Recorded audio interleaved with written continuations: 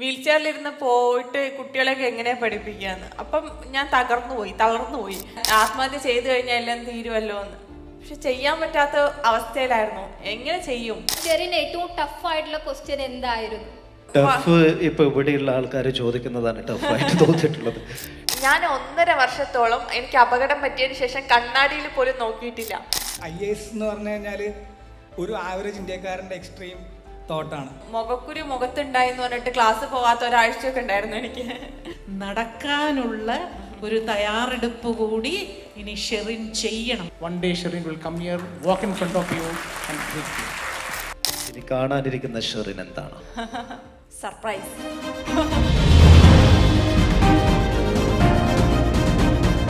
നാലാൾക്ക് മുന്നിൽ കൈ പോലും പൊക്കാൻ പറ്റാത്ത നീ എങ്ങനെയാണ് കുട്ടികളെ പഠിപ്പിക്കാൻ പോകുന്നത്? അല്ലെങ്കിൽ സിവിൽ സർവീസ് കോഴ്സിന് ചേരുന്നതെന്ന് സ്വന്തം വീട്ടുകാർക്കിടയിൽ നിന്ന് വരെ സംസാരമുണ്ടാകുമ്പോൾ വാശി എത്രത്തോളം ഉണ്ടായിരുന്നു? അതായത് ഇപ്പം സ്വന്തം കുടുംബക്കാര് വരെ എന്നെ ചോ എന്നോട് ചോദിച്ചിട്ടുണ്ട്. എന്റെ അടുത്ത റിലേറ്റീവ്സ് ഈ വീൽ ചെയറിൽ ഇരുന്നിട്ടാണോ പോകുന്നത് എന്ന് അതായത് എനിക്ക് ഞാൻ നെറ്റ് ക്ലിയർ ചെയ്തു ഫസ്റ്റ്.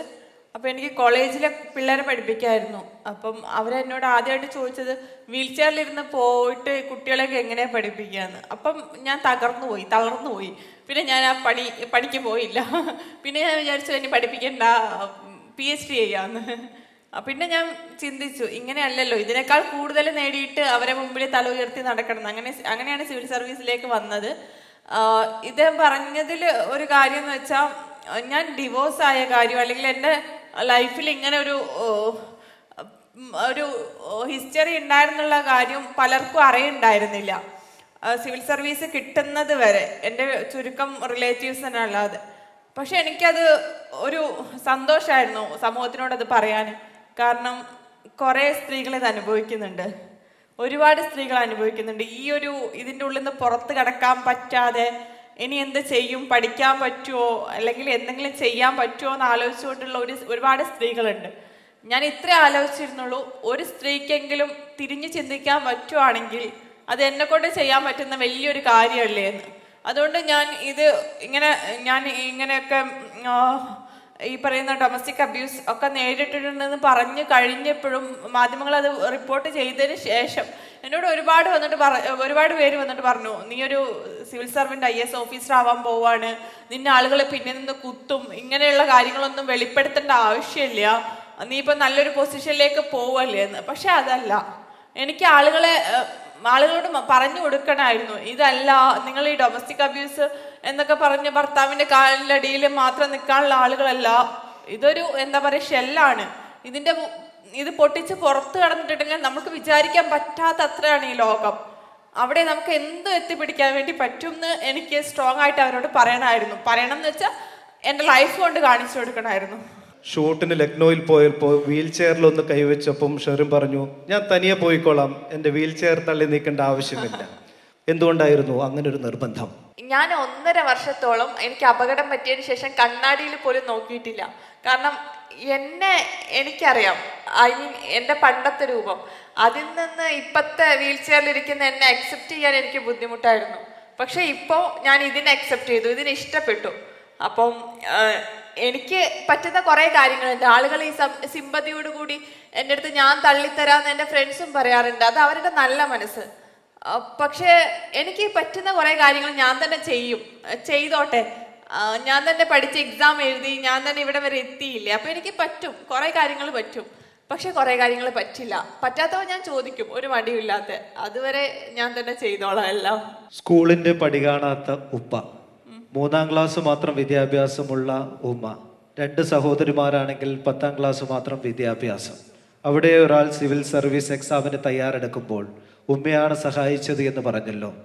സ്വന്തം പുസ്തകത്താളുകൾ പോലും മറിക്കാൻ കഴിയാത്തൊരു സമയമായിരുന്നു ആദ്യ കാലങ്ങളിൽ എങ്ങനെയാണ് ആ പുസ്തകമൊക്കെ ഉമ്മയ്ക്ക് പറഞ്ഞ് മനസ്സിലാക്കാനായിട്ട് ഒരു പ്രയാസം എന്തായിരുന്നു ആ ഒരു എഫേർട്ട് ഉമ്മയ്ക്ക് എനിക്ക് വേണ്ടിയിട്ട് എന്തും ചെയ്യാൻ ഉമ്മ തയ്യാറായിരുന്നു. ഉമ്മ എപ്പോഴും പറയുമായിരുന്നു പടച്ചോൻ എന്തോ വലിയ പദ്ധതി കണ്ടുവച്ചിട്ടുണ്ട്. ഞാൻ ഉമ്മനോട് ഇങ്ങനെ പറയും ഉമ്മ ഞാനൊരു ഉറുമ്പിനെ പോലും നോവിച്ചില്ല. എനിക്ക് ഇങ്ങനെയൊക്കെ വലിയ വിധി വന്നല്ലോ. ഞാൻ മരിക്കട്ടെ എനിക്ക് കുറച്ച് വിഷം കളിക്കി തരുമോന്നൊക്കെ അപ്പോൾ ഉമ്മ പറയും അങ്ങനെയൊന്നും പറയരുത്. പടച്ചോൻ എന്തോ വലിയത് പദ്ധതി തീരുമാനിച്ചിട്ടുണ്ട്. അതുപോലെ തന്നെ നടക്കുള്ളൂ. നീ നോക്കിക്കോ എന്ന് പറയും പക്ഷെ ഉമ്മേന്റെ ഉള്ളിൽ ഒരുപാട് സങ്കടമുണ്ട്. എന്നെപ്പോ എന്നെക്കാൾ കൂടുതൽ ഉമ്മ കരയുന്നുണ്ടായിരുന്നു. അത് ഞാൻ കണ്ടിട്ടുണ്ട്. ഉമ്മ മാറി നിന്ന് കരയുന്നത്. പക്ഷെ ഒരിക്കൽ പോലും രാത്രി ഞാൻ വിളിക്കുമ്പോഴോ എനിക്കൊരു ആവശ്യം വരുമ്പോഴോ ഉമ്മ അൺഅവൈലബിൾ ആയിട്ടുണ്ടായിരുന്നില്ല. എപ്പോഴും ഉമ്മ അവൈലബിൾ ആയിരുന്നു. അപ്പോൾ ഉമ്മനോട് ഞാൻ ഉമ്മ ബുദ്ധിമുട്ടായിരുന്നു ഉമ്മക്ക് ഈ ബുക്ക് എടുക്കുക ആ ബുക്ക് മറക്കി എന്നൊക്കെ പറയുന്നത്. മറ്റേ നമ്മൾ പറയില്ലേ തുമ്പിനെ കൊണ്ട് കല്ലെടുപ്പിക്കുക എന്നൊക്കെ. അതേപോലെ തന്നെയായിരുന്നു. പക്ഷെ ഞാൻ പറയുമ്പോഴും പറ്റില്ല എന്ന് പറയില്ല. ഓരോ ബുക്ക് എടുത്തിട്ട് ഞാൻ ഇംഗ്ലീഷിലെ സ്പെല്ലിംഗ് ഒക്കെ പറഞ്ഞു കൊടുക്കും. അങ്ങനെ ആ സ്പെല്ലിംഗ് നോക്കി ബുക്ക് എടുത്ത് കൊണ്ട തരും ഉമ്മ ഉമ്മയ്ക്ക് ഭയങ്കര സന്തോഷമായിരുന്നു ഞാൻ എന്തൊക്കെ ചെയ്യുന്നുണ്ടല്ലോ എന്ന് ആലോചിച്ചിട്ട്. എന്റെ ചോദ്യം എന്റെ ജോലിയുമായി ബന്ധപ്പെട്ടുള്ള ഒരു ചോദ്യം. ഞാൻ basically oncology and lymphedema physiotherapy ഡിപ്പാർട്ട്മെന്റിലാണ് work ചെയ്യുന്നത്. എന്റെ ചോദ്യം ഫങ്ഷണലി അതായത് നിങ്ങൾക്ക് പിന്നെ ആക്സിഡന്റ് കഴിഞ്ഞതിന് ശേഷം എത്രത്തോളം ഫങ്ഷണൽ റിക്കവറി ഇനി കിട്ടും എന്നുള്ള വല്ലൊരു അങ്ങനെ ഒരു ചർച്ച അതല്ലെങ്കിൽ അങ്ങനെ ഒരു ചിന്ത നിങ്ങളിൽ ഉണ്ടായിട്ടുണ്ടോ? ആക്ച്വലി എന്റെ ഇഞ്ചുറി എന്ന് പറയുന്നത് സി ഫോർ സി ഫൈവ് ആണ്. എന്റെ ഇഞ്ചുറി കംപ്ലീറ്റ് അല്ല ഇൻകംപ്ലീറ്റ് ആണ്. ജസ്റ്റ് ഒന്ന് ചതഞ്ഞിട്ടുണ്ട് ചതഞ്ഞിട്ടേ ഉള്ളൂ എന്റെ സ്പൈനിൽ ഡോക്ടേഴ്സ് അന്ന് പറഞ്ഞു ഒരിക്കലും ഫിസിയോതെറാപ്പി മുടക്കരുത്. ഗ്രാജുവലി ഇമ്പ്രൂവ് ആവും. ചിലപ്പം പഴയ അവസ്ഥയിലേക്ക് തന്നെ പോവാന്ന്. പക്ഷേ ഞാൻ പറഞ്ഞല്ലോ എന്റെ വീട്ടിലെ അവസ്ഥ ഞങ്ങൾ ഫിനാൻഷ്യലി ഭയങ്കര എനിക്ക് പറയുന്നതിന് മടിയൊന്നും ഉണ്ടായിരുന്നില്ല കേട്ടോ ഇപ്പോഴും. ഫിനാൻഷ്യലി ഞങ്ങൾ ഭയങ്കര സൗണ്ട് അല്ലാത്തൊരു സിറ്റുവേഷൻ ആയിരുന്നു. എന്റെ ഉപ്പ മരിച്ചിട്ട് അത്രേ ആയിരുന്നുള്ളൂ എനിക്ക് ആക്സിഡന്റ് പറ്റിയിട്ട്. അതുകൊണ്ട് എന്നെ ഫിസിയോ പിന്നെ ഞാനും ഉമ്മയും മാത്രമായിരുന്നു എന്നെ സപ്പോർട്ട് ചെയ്യാൻ ചേച്ചിമാരുണ്ട് പക്ഷെ അവരെയൊക്കെ കല്യാണം കഴിച്ചു അവരുടെ ഫാമിലിയൊക്കെ ആയിട്ട് അപ്പം ഞാൻ ഉമ്മയും മാത്രമായിരുന്നു എന്റെ ഉമ്മ ഉമ്മ ഒരു കുറേ നേരം ഉമ്മ കുറച്ച് ഏജ്ഡ് ആയിട്ടുള്ള ആളാണ് അപ്പം എനിക്ക് തോന്നുന്നു ചിലപ്പോൾ കണ്ടിന്യൂസ് ഫിസിയോതെറാപ്പി കൊണ്ട് ഒരുപാട് റിക്കവറി ഉണ്ടാവുമായിരിക്കാം. പക്ഷേ എനിക്ക് ഞാൻ ആ സമയത്ത് ആഗ്രഹിച്ചത് ഫിനാൻഷ്യലി സൗണ്ട് ആവുക. എനിക്ക് ഞാൻ പറഞ്ഞ നേരത്തെ കാര്യങ്ങളൊക്കെ നേടുക എന്നുള്ളതായിരുന്നു. അതുകൊണ്ട് ഞാൻ ശരിക്കും പറഞ്ഞാൽ തെറ്റാണ്. ഞാൻ എന്റെ ട്രീറ്റ്മെന്റിൽ കുറച്ച് മടി കാണിച്ചിട്ടുണ്ട് ഉഴപ്പിയിട്ടുണ്ട് അതായത് ഞാൻ പോയ ഉടനെ ചോദിച്ചു ഈ കാര്യം ലക്നോയിൽ പോയപ്പോൾ അപ്പൊ ഫിസിയോതെറാപ്പി നിർത്തിവെച്ചിരിക്കുകയാണ് ഷെറിൻ പറഞ്ഞത് ഞാൻ ബി പി എൽ ഫാമിലിയാണ് എനിക്ക് ഈ ജോലി കിട്ടിയിട്ട് ഇപ്പൊ ട്രെയിനിങ് പീരീഡ് ആണ്.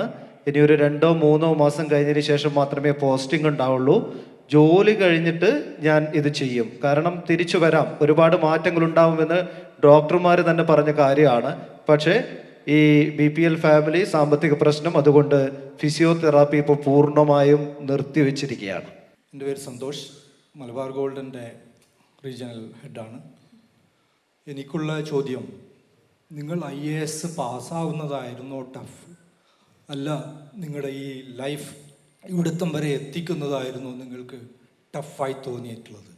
ഏറ്റവും കഠിനമായിട്ടുള്ളതെന്ന് വെച്ചാൽ ഞാൻ ഒരു മടിയും കൂടാതെ പറയും ഞാൻ മെന്റലി ബുദ്ധിമുട്ടിയതായിരുന്നു എന്നുള്ളത്. സിവിൽ സർവീസ് ഒന്നും എല്ലാവരും പറയുന്ന പോലെ അഞ്ചാറ് വർഷങ്ങൾ ഇതൊരു പഞ്ചവത്സര പദ്ധതിയായിട്ട് കൊണ്ടു നടക്കേണ്ട കാര്യമാണെന്നൊന്നും എനിക്ക് തോന്നിയിട്ടില്ല. കാരണം ഞാൻ ഇതിൽ ഇൻവെസ്റ്റ് ചെയ്തത് വെറും ഒന്നൊന്നര വർഷം മാത്രമാണ്. ഇപ്പോൾ ഓൾറെഡി ഐ എസ് എന്ന് പറഞ്ഞു കഴിഞ്ഞാൽ ഒരു ആവറേജ് ഇന്ത്യക്കാരന്റെ എക്സ്ട്രീം തോട്ടാണ് അത് ഈ അവസ്ഥയിൽ മാം ഓൾറെഡി അച്ചീവ് ചെയ്ത് കഴിഞ്ഞു. So I was just wondering എന്തായിരിക്കും ഇനി മാമിന്റെ നെക്സ്റ്റ് ഫയർ എന്തായിരിക്കും ഈ ഫയറിനെ മാം എങ്ങനെ എങ്ങോട്ടായിരിക്കും ഇനി അടുത്ത് കൊണ്ടുപോകാൻ പോണത്? ഇനി കാണാനിരിക്കുന്ന ഷെറിൻ എന്താണ്? സർപ്രൈസ് അങ്ങനെയില്ല. എനിക്ക് സർവീസ് നന്നായിട്ട് കൊണ്ടുപോകണമെന്നുണ്ട്. സമൂഹത്തിൽ എന്തെങ്കിലുമൊക്കെ ചെയ്യണമെന്നുണ്ട്. കാര്യം എനിക്ക് തോന്നിയിട്ടില്ല. ഞാൻ പരിചയപ്പെട്ട വീൽ ചെയറിലിരിക്കുന്ന പലരും അതായത് ഒരു നയന്റി നയൻ പെർസെന്റേജ് ആളുകളും ഇൻബോൺ വീൽ ചെയറിലായിട്ടുള്ള ഒരു ആൾക്കാരാണ് അപ്പം ചിലപ്പം അവർക്ക് അവരത് അഡാപ്റ്റഡ് ആണ് പലപ്പോഴും. പക്ഷെ പെട്ടെന്ന് ഒരാൾ വീൽ ചെയറിലേക്ക് മാറുമ്പം അത് ഭയങ്കര പ്രശ്നമാണ്. അപ്പം നമുക്കത് നമുക്കത് എനിക്കത് എക്സ്പ്ലെയിൻ ചെയ്ത് തരാൻ പോലും പറ്റില്ല. അപ്പം അങ്ങനെയുള്ള ആളുകളെ കുറച്ചും കൂടി സൊസൈറ്റിയിലേക്ക് കൊണ്ടുവരിക എക്സാമുകളൊക്കെ എഴുതാൻ പറ്റുമെന്ന് മനസ്സിലാക്കി കൊടുക്കുക. ഇങ്ങനെയുള്ള കുറേ കുറേ കാര്യങ്ങൾ നമ്മൾ എനിക്ക് തോന്നിയിട്ടില്ല അവരോടത് പറഞ്ഞു മനസ്സിലാക്കേണ്ട ആവശ്യമില്ല എന്ന്. കാരണം ഞാൻ സർവീസിൽ എത്തിയപ്പോഴേക്കും ഒരു ആയിരം ഇങ്ങനെയുള്ള ആളുകളുടെ നിന്ന് കോളുകൾ എനിക്ക് വന്നിട്ടുണ്ട്. അപ്പം എനിക്കപ്പം മനസ്സിലായി ഇതാണ് എന്റെ എന്റെ ജേണി ഏകദേശം കഴിഞ്ഞു. കാരണം ഞാൻ ഇത്രേ ഉദ്ദേശിച്ചുള്ളൂ ആരെങ്കിലും ഇൻസ്പയർ ചെയ്യുക. അതൊക്കെ ഭംഗിയായിട്ട് നിർവഹിച്ചു എന്നുള്ളത്. ഇതൊക്കെ തന്നെ. ഒരു മെന്റൽ ട്രോമ കഴിഞ്ഞു. അതിലൊരു ഭൂരിഭാഗവും ആ മെന്റൽ ട്രോമയ്ക്ക് ഒരു റീസൺ ഒരു പുരുഷനായിരുന്നു. അതേപോലെ തന്നെ ഒരു പറ്റം പുരുഷന്മാരാണ് ഇന്ന് ഷെറിനെ നമുക്ക് ഈ വേദിയിൽ കൊണ്ടുവന്ന് തന്നത് if you see the panel of judges if you see the editorial team we could find that they all are men so hats off to that wonder men who brought Shirin to this event to all of us. Thank you so much. ഇപ്പോൾ ഷിറിൻ പറഞ്ഞു ഷിറിന്റെ ഉമ്മ family എല്ലാവരും support ചെയ്തിരുന്നു. Physically and emotionally വല്ലാത്തൊരു ട്രോമയിലൂടെ കടന്നു പോകുന്ന ഒരുപാട് സ്ത്രീകളുണ്ടാവും. അവർക്ക് ഒരുപക്ഷെ ഒരുപാട് ആഗ്രഹങ്ങൾ ഉണ്ടാവാം. പക്ഷേ അവരെ ചിലപ്പോൾ സ്റ്റോപ്പ് ചെയ്യുന്നത് അവരുടെ ഫാമിലി തന്നെയാണെങ്കിൽ. അവരോട് ഷെറിന് എന്താണ് പറയാനുള്ളത്? ഞാൻ എപ്പോഴും ആഗ്രഹിക്കുന്നത് സ്ത്രീകളൊക്കെ ചിത്രശലഭങ്ങളായിട്ട് പറന്നുയരണമെന്ന കാരണം ഈ പുരുഷന്മാർക്ക് മാത്രമല്ലല്ലോ ഈ പറയുന്ന ആഗ്രഹങ്ങളും എന്താ പറയുക അംബിഷൻസും കരിയറും ഒക്കെ നമുക്കും ഇല്ലേ? ഞാൻ എന്റെ പാസ്റ്റിൽ ഐ മീൻ മാരേജ് കഴിഞ്ഞ സമയത്ത് എനിക്ക് ആഗ്രഹങ്ങളൊന്നും ഉണ്ടായിരുന്നില്ല. കാരണം ഞാൻ അടുക്കളയിൽ അയാളുടെ വീട്ടിലെ പാത്രങ്ങൾ കഴുകി അവരുടെ തുണി അലക്കി ഇതൊക്കെയായിരുന്നു എന്റെ ലൈഫ് അതിൽ കൂടുതൽ ഞാനൊരു ജോലി കിട്ടണമെന്ന് പോലും ഐ മീൻ ഒരു എന്തെങ്കിലും ഒരു കടയിൽ നിൽക്കുന്ന ജോലി കിട്ടണമെന്ന് പോലും ആഗ്രഹിച്ചില്ല ആഗ്രഹിക്കാനുള്ള സ്വാതന്ത്ര്യം പോലും എനിക്കുണ്ടായിരുന്നില്ല. അപ്പം എനിക്ക് ഇത്രേ പറയാനുള്ളൂ. നിങ്ങൾ മനസ്സിലാക്കുക പെൺകുട്ടികളാണ് പെൺകുട്ടികൾ ഇതല്ല സമൂഹം ഇതല്ല ലോകം. നമുക്ക് ചിറങ്ങിന്റെ ഇടയിൽ വലിയൊരു ലോകമുണ്ട്. നമ്മൾ ജസ്റ്റ് ഒന്ന് അതൊന്ന് കാണുക മാത്രമേ വേണ്ടൂ. ബാക്കിയെല്ലാം അങ്ങ് നടന്നോളും. ഇത്ര മാത്രമേ എനിക്ക് പറയാനുള്ളൂ. ഇനി ഞാൻ പലർക്ക് വേണ്ടി പല കാര്യങ്ങൾ ചെയ്യണം എന്ന് ചിന്തിക്കുന്നതിനോടൊപ്പം നേരത്തെ പറഞ്ഞ മാതിരി നടക്കാനുള്ള ഒരു തയ്യാറെടുപ്പ് കൂടി ഇനി ഷെറിൻ ചെയ്യണം. അപ്പോഴാണ് ഷെറിന്റെ ഈ യാത്ര കംപ്ലീറ്റ് ആവുന്നത്. ഒരിക്കലും ഈ ശക്തി ജീവിതത്തിൽ നിന്ന് പോകാതെ ഇരിക്കാൻ സാധിക്കണം. ശരിയാ മാം. ഇപ്പോഴത്തെ കുട്ടികളെയൊക്കെ വെച്ച് നോക്കുമ്പോൾ കുട്ടികൾക്ക് ചെറിയ ചെറിയ കാര്യങ്ങൾക്കൊക്കെ ഡിപ്രഷൻ കാര്യങ്ങളൊക്കെ സങ്കടം ആത്മഹത്യ ഞാനും അങ്ങനെയൊക്കെ തന്നെയായിരുന്നു. മുഖക്കുരു മുഖത്തുണ്ടായി എന്ന് പറഞ്ഞിട്ട് ക്ലാസ് പോകാത്ത ഒരാഴ്ചയൊക്കെ ഉണ്ടായിരുന്നു എനിക്ക്. അപ്പം എനിക്ക് തോന്നുന്ന സാഹചര്യങ്ങളാണ്. ഞാൻ പറഞ്ഞല്ലോ എനിക്ക് ഇങ്ങനെ അപകടം പറ്റിക്കഴിഞ്ഞപ്പോൾ ഞാൻ ഫസ്റ്റ് ആലോചിച്ചത് ആ ഇനിയിപ്പോൾ പ്രത്യേകിച്ച് കുഴപ്പമൊന്നുമില്ല. ഇപ്പം എനിക്ക് ആത്മഹത്യ കഴിഞ്ഞാൽ എല്ലാം ആത്മഹത്യ ചെയ്തു കഴിഞ്ഞാൽ എല്ലാം തീരുമല്ലോ എന്ന്. പക്ഷെ ചെയ്യാൻ പറ്റാത്ത അവസ്ഥയിലായിരുന്നു. എങ്ങനെ ചെയ്യും? കയ്യിന് പവറില്ലല്ലോ അപ്പോൾ എന്റെ സാഹചര്യമാണ് എന്നെ ഇത്ര സ്ട്രോങ് ആക്കിയത്. എന്റെ പേര് അഞ്ജലി. ഞാനൊരു ജേർണലിസ്റ്റ് ആണ്. സിവിൽ സർവീസിൽ നമ്മൾ നേരിടുന്ന ക്വസ്റ്റ്യൻസ് അത്ര ഇതുണ്ട്. അപ്പം ഷെറിന് ഏറ്റവും ടഫ് ആയിട്ടുള്ള ക്വസ്റ്റ്യൻ എന്തായിരുന്നു? ഞാൻ കേട്ടിട്ടുണ്ട് സിവിൽ സർവീസ് ഇന്റർവ്യൂ ആണ് ലോക ഐ മീൻ ലോകത്തിലെ ഏറ്റവും വലിയ ക്രൂരമായിട്ട് ക്രൂരന്മാരായിട്ടുള്ള ഒരു അഞ്ചാറ് പേരിരിക്കും. അവർ നമ്മളെ ഇട്ട് പൊരിക്കും. അങ്ങനെയൊക്കെയാണ് ഞാനും ഇന്റർവ്യൂവിന് പോയത്. പക്ഷേ ഇദ്ദേഹം വളരെ നീറ്റായിട്ടുള്ള വളരെ നമ്മൾ വളരെ കംഫർട്ടബിൾ ആക്കാൻ വേണ്ടി ശ്രമിച്ചിരുന്നു. ഡോർ എനിക്ക് വേണ്ടി ഓപ്പൺ ഓപ്പൺ ചെയ്തു തന്നു. എന്റെ വീൽ ചെയർ സാർ തന്നെയാണ് അങ്ങോട്ട് ഉന്തി കൊണ്ടുപോയത് എന്നിട്ട് എന്നെ ആദ്യം കംഫർട്ടബിൾ ആക്കിയിട്ടാണ് സാറ് ക്വസ്റ്റ്യൻ ചോദിച്ചത്. എന്നോട് ചോദിച്ചത് ടഫ് എന്ന് പറയുന്നത് ഇല്ല എന്നോടെല്ലാം ടഫ് ഇപ്പൊ ഇവിടെയുള്ള ആൾക്കാർ ചോദിക്കുന്നതാണ് ടഫായിട്ട് തോന്നിയിട്ടുള്ളത്. There is a lot of researches going on in this field. There is something called stem cell therapy. For incomplete disc injury, this has been found to be encouraging. There are many centers outside the world. We'll work together and see one day Shirin will come here, walk in front of you, and greet you. Thank you. Thank you sir ഇത്തരം ഇത്രയധികം പ്രശ്നങ്ങളും പ്രതിസന്ധികളും ഹൃദയം കൊണ്ട് തൻ്റെ ഇടത്തോടു കൂടി നേരിട്ടില്ലേ അത് എത്ര അഭി അഭിനന്ദിച്ചാലും മതി വരില്ല. എല്ലാം ഉണ്ടായിട്ടും വീട്ടിനുള്ളിൽ ദുഃഖിച്ചിരിക്കുന്ന സ്ത്രീകൾക്ക് സ്ത്രീകൾക്കൊരു മാതൃകയായിരിക്കണമെന്നാണ് എനിക്ക് ഈ അവസരത്തിൽ പറയാനുള്ളത്. ആരോഗ്യാവസ്ഥയിലും ഇവിടേക്ക് വരാൻ ഞങ്ങളുടെ ക്ഷണം സ്വീകരിച്ചെത്തിയതിന് ഒരുപാട് നന്ദി. എഡിറ്റോറിയലിന്റെ പേരിലും ഇവിടെ തടിച്ചുകൂടിയ ജനങ്ങളുടെ പേരിലും പ്രവാസി മലയാളികളുടെ പേരിലും നേരുന്നു. ജീവിതത്തിലെ ഏറ്റവും വലിയ സ്വപ്നമായ ഉമ്ര നിർവഹിക്കാൻ വേണ്ടി സൗദി അറേബ്യയിലേക്ക് പോവുകയാണ്. എല്ലാം മനോഹരമായി ചെയ്ത് തീർക്കാൻ കഴിയട്ടെ എന്ന് ആശംസിക്കുന്നു ഷെറി നന്ദി.